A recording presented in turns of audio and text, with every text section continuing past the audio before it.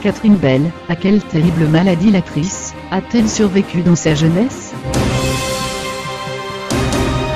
À l'affiche du téléfilm intitulé Mémoire du passé, qui sera diffusé samedi 20 janvier 2018 à partir de 13h, 3, 5 sur Célite, l'actrice Catherine Bell a vécu une terrible épreuve durant sa jeunesse qui aurait pu lui coûter la vie prématurément.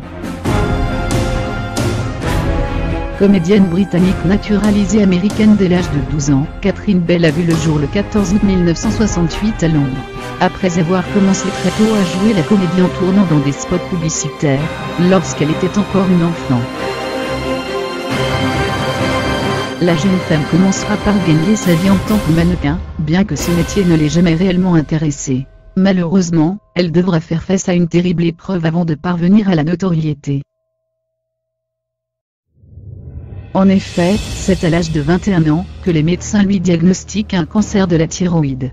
Elle se battra donc contre cette maladie jusqu'à ce qu'elle parvienne enfin à en venir à bout. Une expérience qui aura profondément marqué Catherine Bell, qui apporte depuis son soutien à de nombreux organismes caritatifs, ainsi qu'aux hôpitaux pour les enfants. Une carrière plus qu'honorable.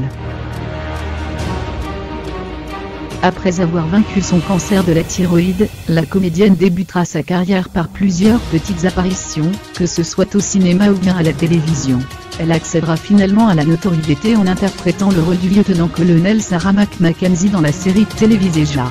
Cette dernière fut diffusée en France à partir de 1996 sur l'antenne de France 2. Une fois que la fiction fut définitivement arrêtée, Catherine Bell ne mit pas très longtemps à revenir en haut de l'affiche, puisqu'elle incarnera le personnage de Denise Sherwood dans la série télévisée American Whip durant 6 ans. Les téléspectateurs français pourront d'ailleurs découvrir ou redécouvrir ses talents d'actrice, puisque c'est lui diffusera le téléfilm Mémoire du passé samedi 20 janvier 2018 à partir de 13h35.